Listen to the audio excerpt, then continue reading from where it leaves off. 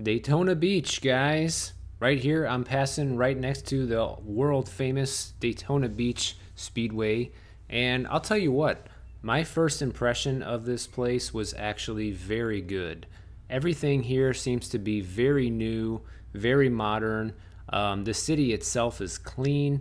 You know, going over this bridge towards the beach is a very scenic route, and the whole area just leaves me with a feeling like, wow, maybe I could see myself moving here. Actually, this is one place that I'll be talking about in some future videos that I think is going to be a good place for a lot of people to move to if you want to be in Florida and you don't want to be breaking the bank because it's also very affordable to live here.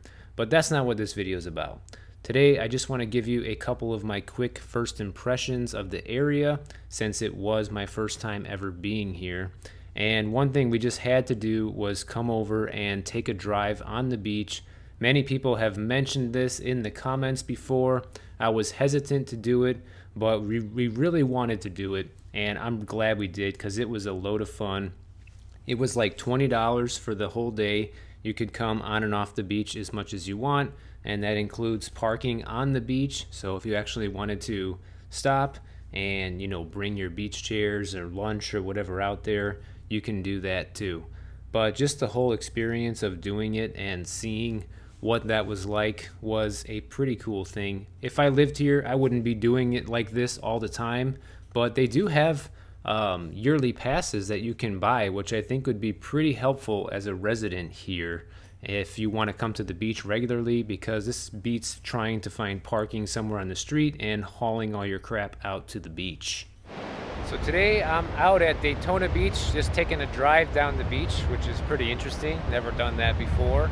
And we're on our way up to St. Augustine. Let's check out the beach here real quick and see what it's like. One thing, obviously, the sand is like super compact. That's probably why they let you drive out here. So the sand is very hard and this beach reminds me a lot of being in LA because the sand is kind of harder like this and flatter and then the water kind of just rolls up the beach like this in a very shallow way. You know, um, here it's like you probably have to walk quite a bit out into the water in order to actually get into some deep water. You see like those ladies standing over there, they're like well into the water and it's only like up to their ankles. So that's definitely a lot different than Miami. And it's just a cool place. It seems like, I know some people said it's like trashy or ghetto, and I could see that in maybe some of these hotels. They look like kind of crappy, but you know, it seems like a fun place to let you drive on the beach and park on the beach. It's like 20 bucks to come out here and drive on the beach for one day.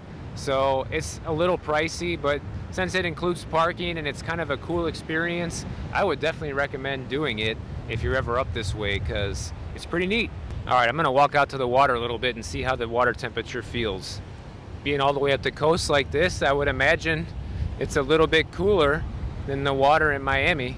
The water's still a little on the cool side at home in Miami. It's not bath water yet, but it'll be getting there soon.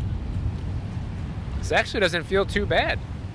This feels about the same as home actually. I'm surprised being this far north and the water is not that much colder really.